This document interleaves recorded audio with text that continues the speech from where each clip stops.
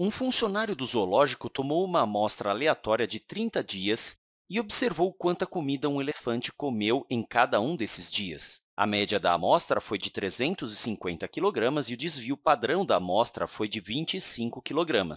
O intervalo de confiança de 90% obtido para a média de comida foi de 341 a 359 kg.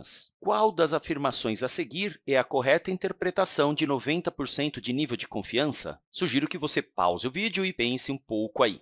Veja que o funcionário do zoológico está querendo descobrir a real quantidade de comida que o elefante come por dia, em média. Primeiro, vamos observar que o 30 dos 30 dias é uma amostra de todos os possíveis dias na existência do elefante, que seriam os componentes da população. O funcionário do zoológico não sabe essa média real da população, ele quer estimar a partir da média da amostra. Vamos pensar um pouco a respeito e vamos supor que aqui eu tenho o valor da média populacional, ou seja, a média real de comida que o elefante consome em todos os seus dias. O que o funcionário fez foi tomar uma amostra, nesse caso de 30 dias, e calculou um parâmetro estatístico, nesse caso a média de comida durante esses 30 dias, média de comida consumida pelo elefante. E essa média de 350 kg da amostra pode estar aqui. Eu não sei se ela está acima ou abaixo da média real, ou seja, do valor populacional para a média. Aqui é apenas um esquema. Digamos que a média da amostra esteja aqui. Então, a média dessa amostra, digamos que seja a amostra 1, é de 350 kg, x barra 1, 350 kg.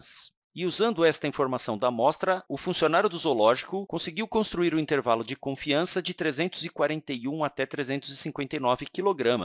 Vou desenhar aqui uma ideia do intervalo de confiança e eu não tenho certeza de que ele inclui o valor da média real, da maneira como eu estou desenhando aqui. É só uma ideia para visualização. O que nós estamos tratando em relação aos 90% de nível de confiança é que eu tenho aqui uma amostra com uma média da amostra e o intervalo de confiança que ela me permite construir, mas eu poderia ter outras amostras repetindo o processo. Temos, por exemplo, que uma outra amostra nos dá a média x barra 2 aqui, e temos um intervalo de confiança associada a ela, como eu estou representando aqui. Neste outro intervalo de confiança, temos não só o começo e o fim, os limites dele diferentes do intervalo de confiança que teríamos na primeira amostra, mas também o comprimento do intervalo é outro. Isso depende da minha amostra. Se eu continuar fazendo isso para várias amostras, o que eu espero é que 90% delas gerem intervalos de confiança que contenham o valor real da média, ou seja, da média populacional.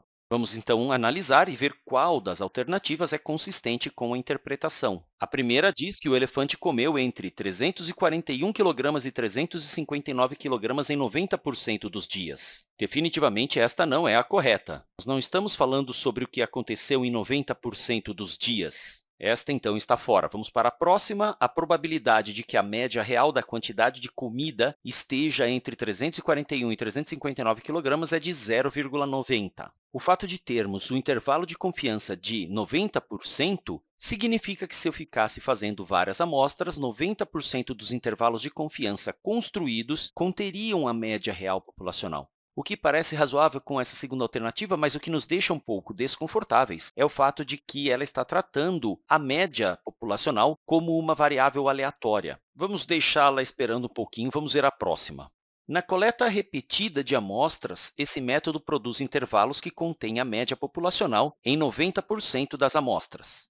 Excelente! Essa diz exatamente o que nós conversamos agora mesmo. Se eu construísse vários intervalos de confiança a partir de amostras, 90% deles conteriam em si o valor da média populacional, da média real da comida que o elefante consome. Esta alternativa C é a melhor, então, mas vamos ler a alternativa D. Na coleta repetida de amostras, este método produz média entre 341 e 359 kg em aproximadamente 90% das amostras. Esta alternativa é falsa. O intervalo de confiança de 90% não determina restrições em relação aos extremos dele e nem ao seu tamanho. Ou seja, não é correto dizer que a média vai estar entre 341 e 359 kg em 90% dos casos, porque em cada amostra nós teremos um novo intervalo de confiança. Com isso, sem dúvida, a melhor alternativa é a letra C. Até o próximo vídeo!